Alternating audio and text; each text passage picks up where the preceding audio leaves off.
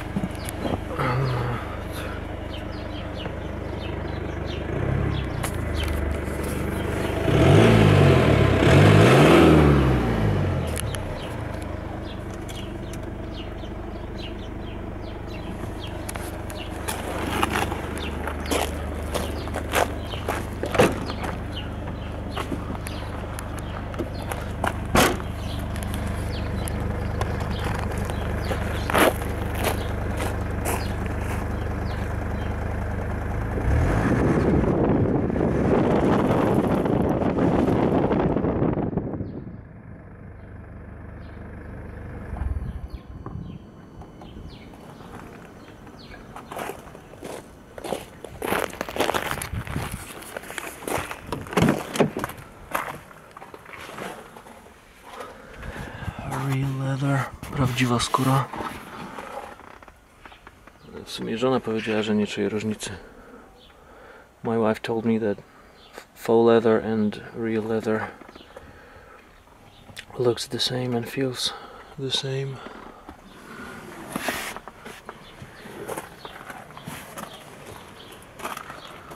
Oops. Not nice. To nie that wasn't me.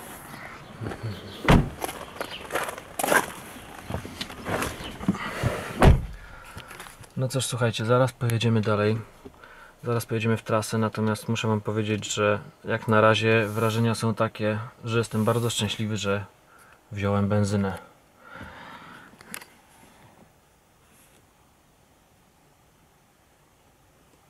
Tak więc, no, może niektórzy z Was lubią diesle.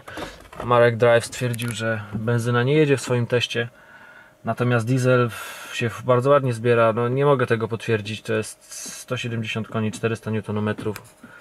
Nie mogę tego potwierdzić. Nawet jakbym chciał, nawet jakbym coś tutaj nie wiem, no nic, nie mam nic do ukrycia. Po prostu benzyniak jest przyjemny, jak samitny, płynie. Dobra, zaraz się zbieramy w trasę.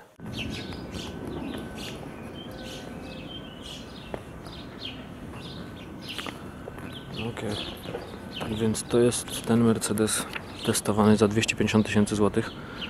I on ma jak widzicie totalnie zwyczajne od strony zewnętrznej na zewnątrz jest zwyczajny, nie ma nawet alusów, to są zwykłe dekle chyba. Zaraz się przyjrzymy.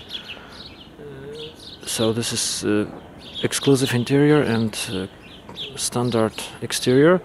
And I, I have no idea what pushes this car to $70,000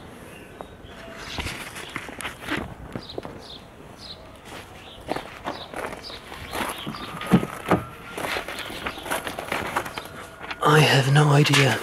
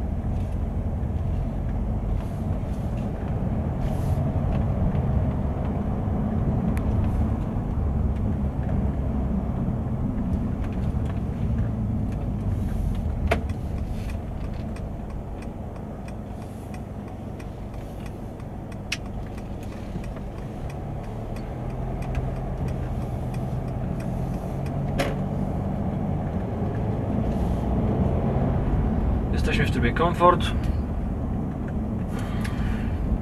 Comfort mode. Selected.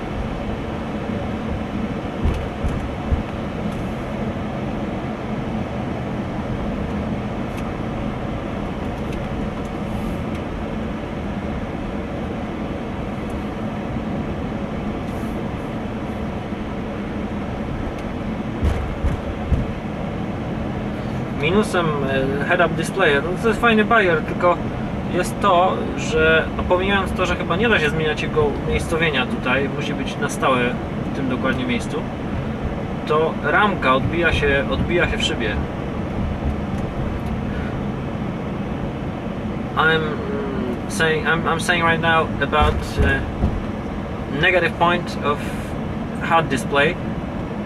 This frame can be visible uh, in the windshield, in the windshield, you know, it's reflections, and it can be a bit disturbing.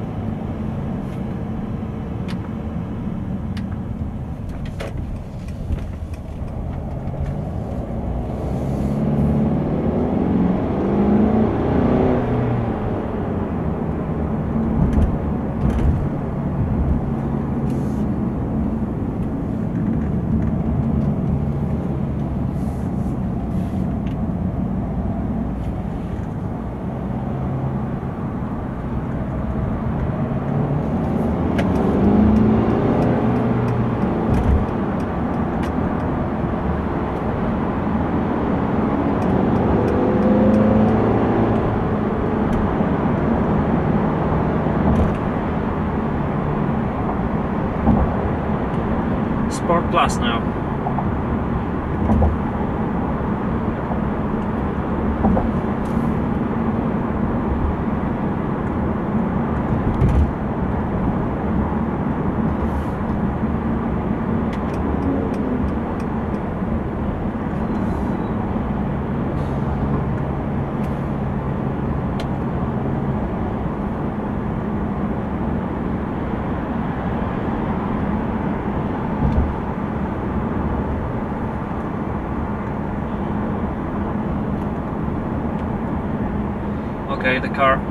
turn itself, as you can see right now.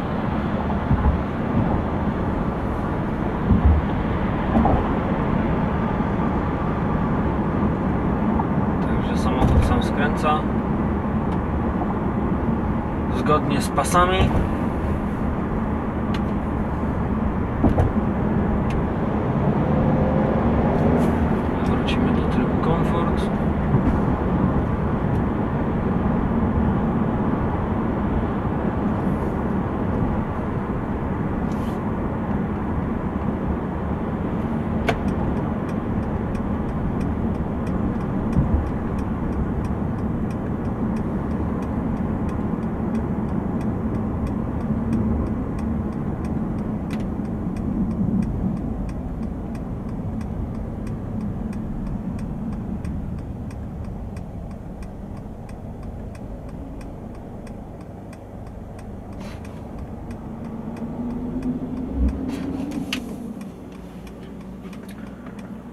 Spalanie 8,9 od resetu.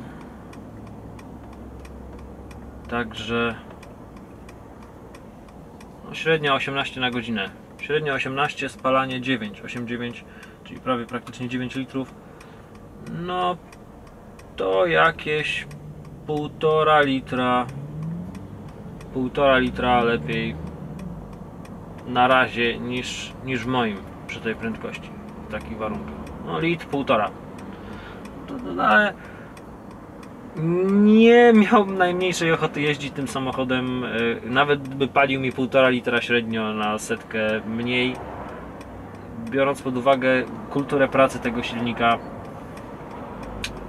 nie zrozumcie mnie źle, ja wcześniej miałem diesla 5-cylindrowego Volvo V70 i no i to był zupełnie inny samochód, tam, to, tam naprawdę było traktorowato, natomiast po wkręcaniu na obrotę on brzmiał pięknie. 5 garów, naprawdę ładnie to chodziło. No Cię przyspiesza, natomiast tutaj nie czuć jakiejś takiej on inaczej przyspiesza, no jest to diesel.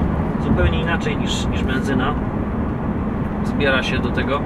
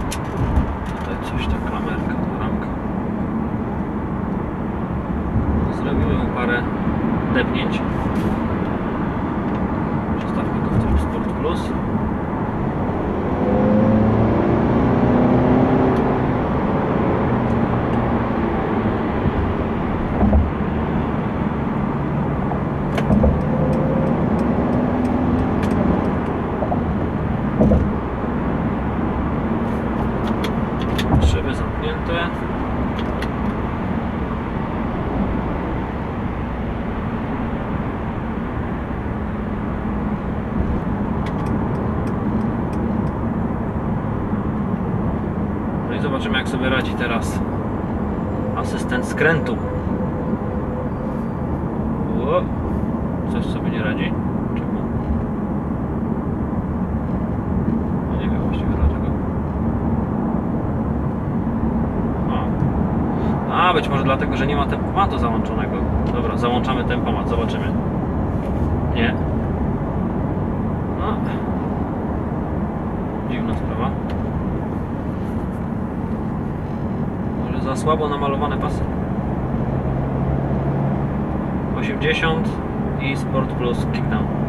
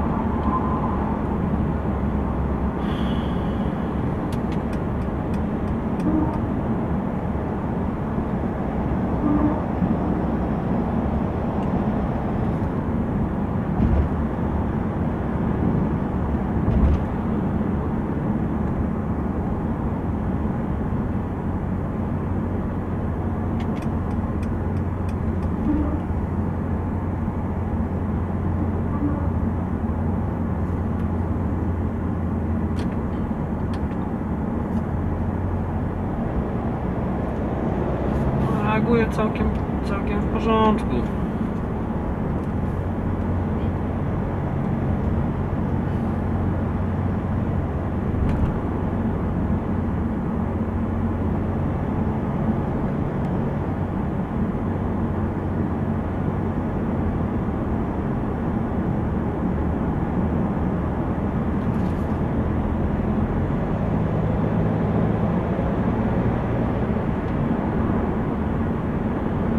Uh-oh.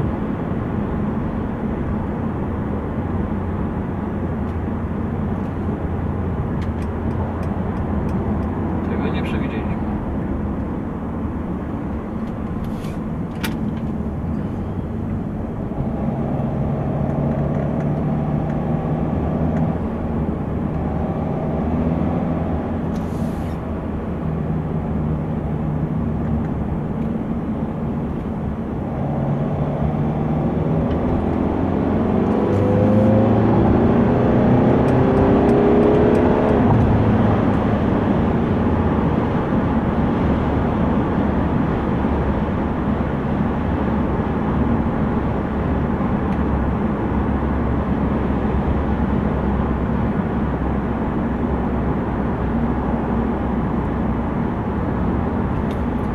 Spalanie od resetu w tej chwili wynosi, uciekło mi po znaki, 7,5 dokładnie tyle, dokładnie tyle ile od 527 km.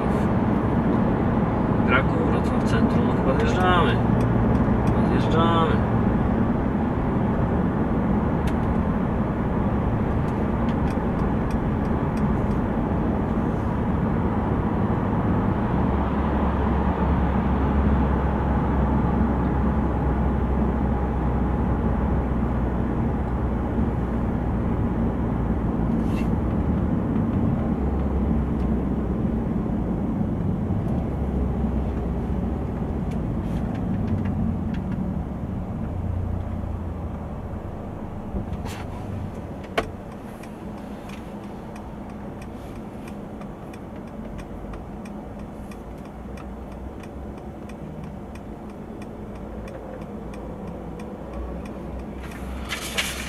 No cóż. Dieselek, dieselek. Start-stop, system się przydaje w dieslu tym bardziej. Można odpocząć od tego hałasu.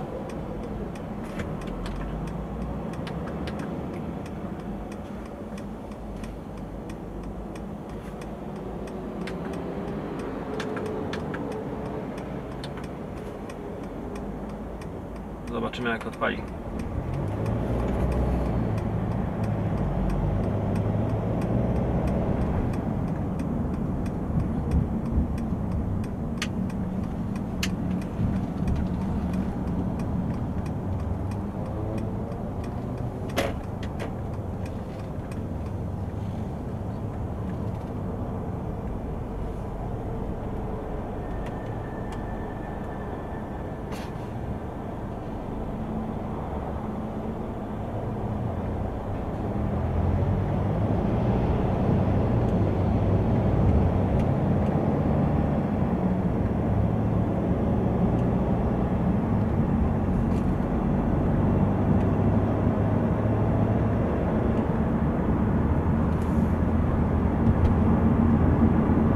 Teraz jedziemy w trybie Eco.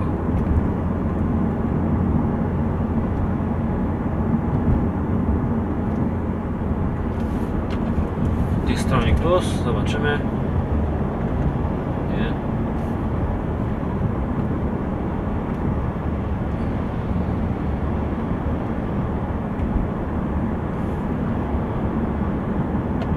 A, tak ja wolę sam prowadzić.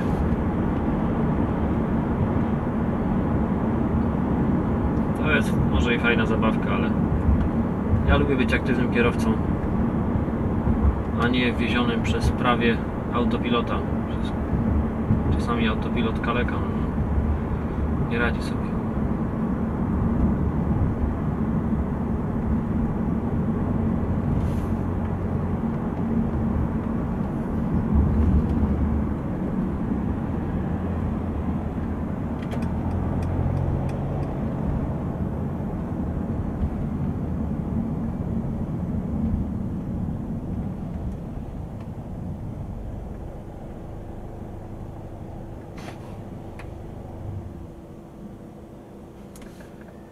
Stop start zadziałał system.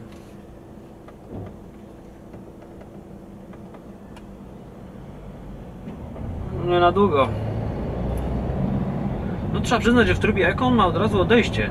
Nie tak jak e, benzyna. W trybie Eco benzyna jest bardziej ospała. Tutaj, tutaj jest, e, jest od razu ten moment, skakuje szybko. Na pewno jest to kwestia też to blind spot detection. Trójkąciki w lusterkach i pip. My sobie pojedziemy grzecznie. No i też trójkącik się pojawił, że jadę za blisko tej Skody przede mną. No ta tarcza bezpieczeństwa, ten pakiet jest na pewno przydatny, na pewno fajny, natomiast y, czy to jest niezbędne? Powiedział. I wyłączając tego hada, jakoś, no fajnie jest, że mam te, te, te znaki drogowe, że 50 przede mną się wyświetla, że jadę 53. To jest na pewno fajne. Taki bajer jest spoko, tylko że na dłuższą metę to trochę męczy. Ja lubię siedzieć nisko, mam 1,86 m, ale ustawiam sobie fotel najniżej. Zwykle tak jest, że mam po prostu fotel tu najniżej ustawiony jak się da. No i no i to mi trochę przeszkadza, szczerze powiedziawszy. Jak się lubi jeździć bardzo nisko, to to jest yy, problem.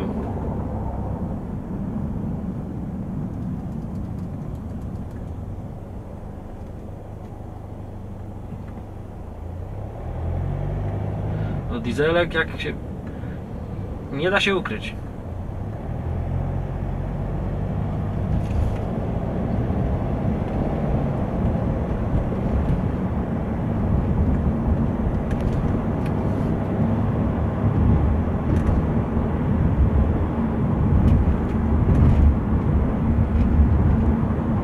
Nie da się ukryć, że dieselek pod maską grasuje. Jak ktoś lubi, no to nie przykład jakieś trzaski. Samochód ma 25 tysięcy chyba od nowości, tak? No niecałe, 24,5. No i może zmienimy na komfort jednak, bo ten eko mnie trochę spowalnia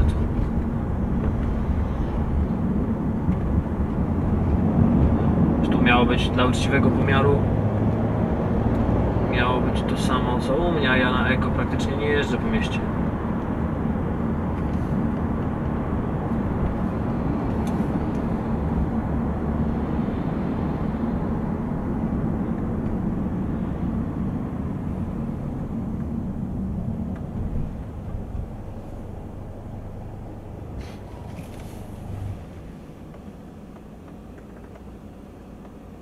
Średnia 28 na godzinę, 7,0 pokazuje mi spalanie, więc tak to wygląda.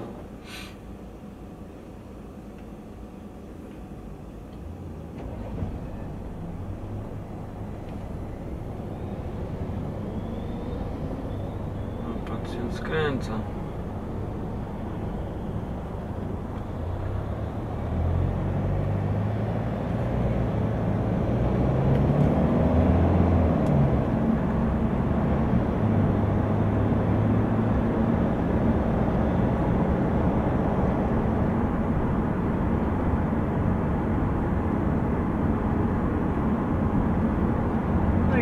Jedzie 60, 70 jednostajnie nie, nie słychać, natomiast dotykając tylko pedału gazu od razu od razu jest ten traktorek.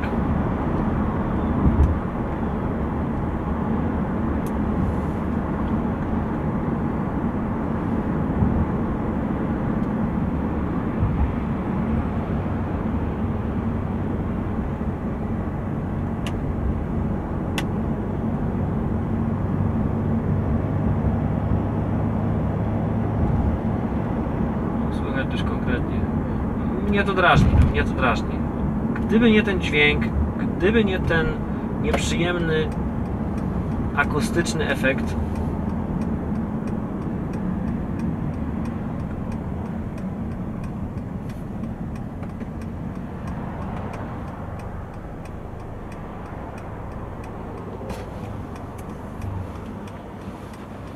no, no nie byłoby źle, no.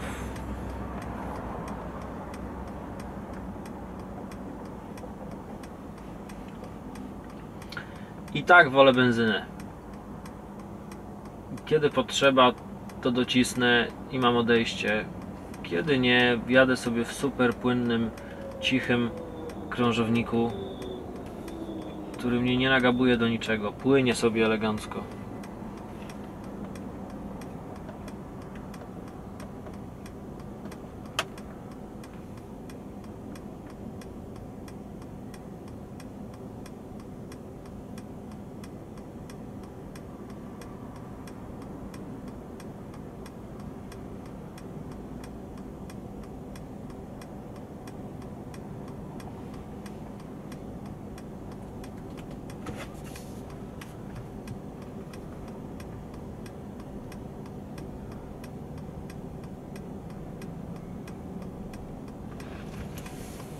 No tu start stop się na pewno przydaje.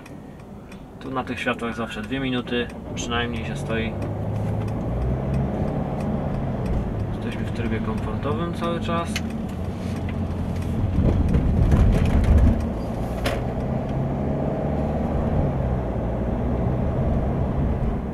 Nie wiem dlaczego teraz na wyświetlaczu ciekłokrystalicznym nie widzę dokładnie tej prędkości. Coś się tam... O, teraz się coś poprawiło. Nie wiem, może to jest kwestia słońca? Więc nie wiem o co chodziło.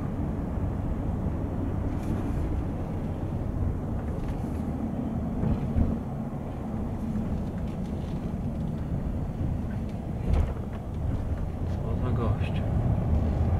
No, pięknie zakopcił. Dieselek.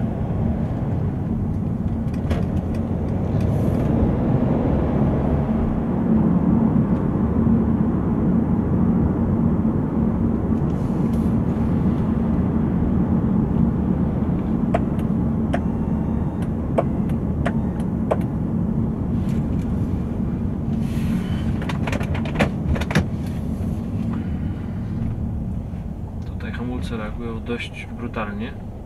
Jakoś tak faktycznie. Można by tutaj ponarzekać, że hamulce działają zbyt zero-jedynkowo, binarnie.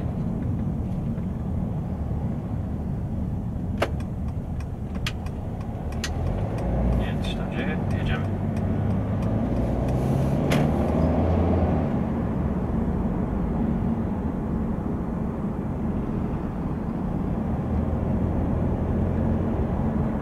z niskich obrotów czuć te wibracje. Natomiast y, dziwne, że no, pojeździ się chwilę, jest ciepło i te wibracje są mniejsze. Natomiast nawet jak jest silnik ciepły i się go odpali, no to, to, to te wibracje są zdecydowanie mocniejsze i to jest dziwna, naprawdę dziwna sprawa.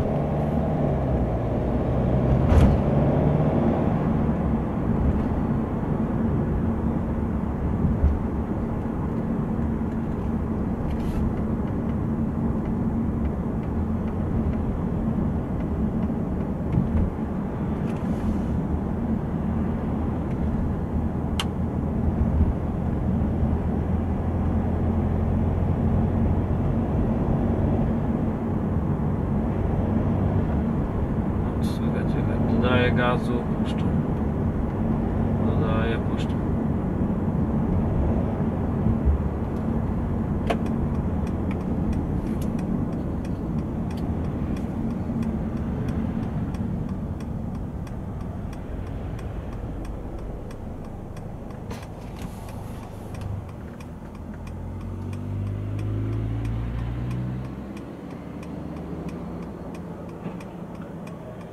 Wydaje mi się, że w tak komfortowej limuzynie, tak komfortowym samochodzie powinna być benzyna.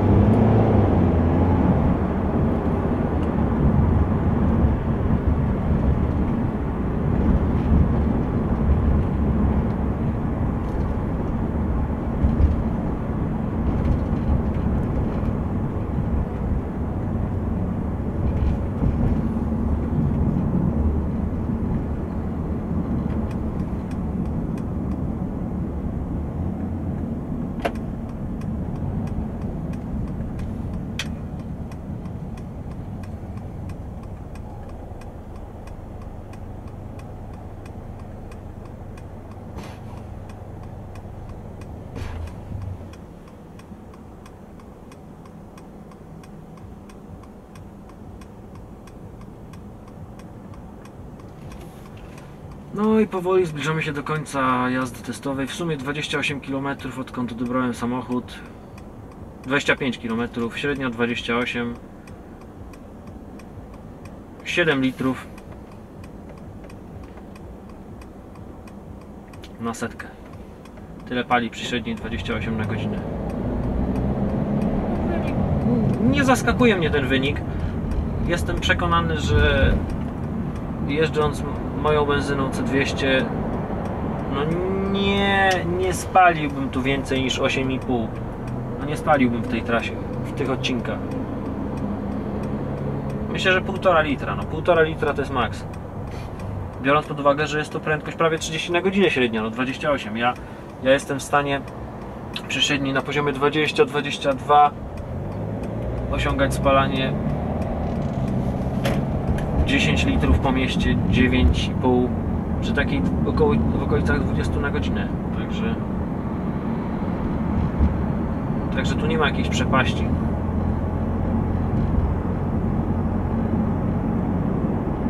Spróbujemy jeszcze to wyprzedzić szybko.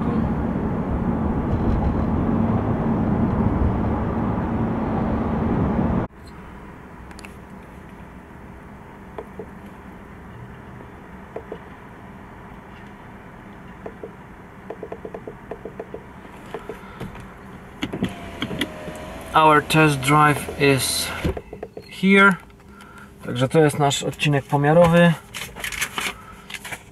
Sami sobie powiedzcie, czy to dużo, czy mało przy tej średniej na ten silnik. 170 koni, 400 Nm.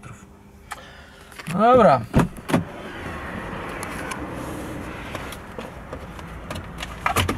Zwijamy się.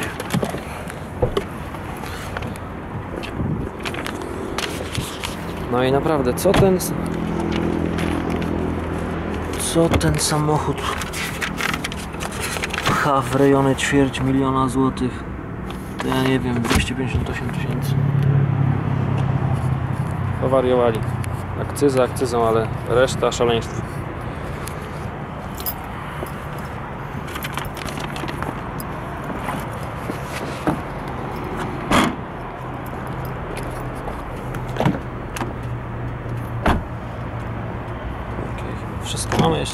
sprawdźmy na wszelki wypadek. Sprawdzimy nic.